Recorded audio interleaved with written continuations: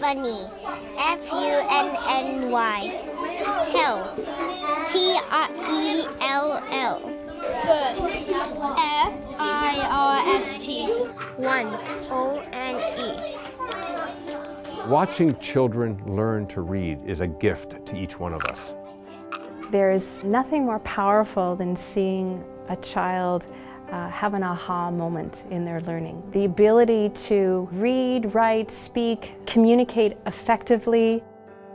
And then it just keeps going and does the exact other. Literacy is the foundational skill. It unlocks the rest of the learning adventure.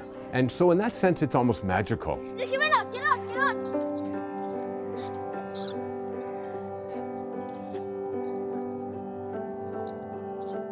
When I get really into a book, um, I feel like it's actually happening to me. The best part about reading um, is that you're learning new words each time. If you do really good on it, um, you get to go to the next level. Literacy is so important because it is the foundation for success for all students in the future.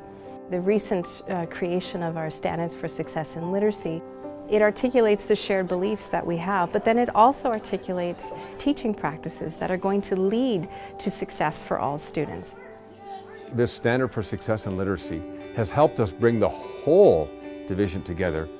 We provide significant resources to every classroom so that the teacher has a team with whom they're working. We have reading recovery teachers who work significantly with the most at-risk learners because we don't want anybody left behind. No matter where they're at when they start school, whether they're arriving you know, to Canada later in their schooling, it's really the belief that all students can succeed. Have hope, never give up, and keep up the hard work um, in, in teaching our students in a very individualized and strategic manner.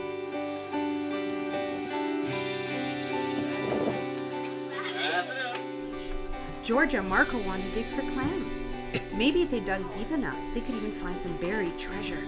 I think it's superb. I see how well they're progressing. And as much as there's tablets, as much as there's TV and computer, they still really look forward to their reading time. It's nice that there are times we can say, okay, everyone, grab a book and read, and you've got that little 10 minutes of quiet time, because we don't always have quiet time with four kids at home.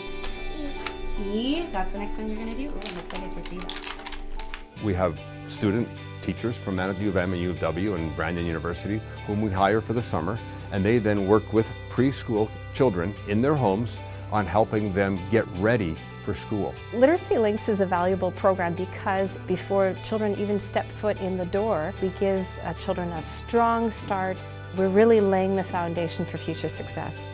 Just draw a big, big rocket on the card. I want every single student at Pembina Trails to proudly say, I am a reader, no matter what grade level they are, kindergarten to grade 12. Did you actually read it? I actually did actually read it. it. And this is what makes our division quite special, is that we have set this as a priority divisionally, and we've really been working towards improvement uh, in, in student achievement, but really to ensure success for all students. We see them grow and we see them reach that next stage in their learning. It's, it's just the best feeling. It's the best feeling and it's the best moment that anyone can have as an educator or as a school leader to know that we're making a difference. And in Pembina Trails we are, we're making a difference.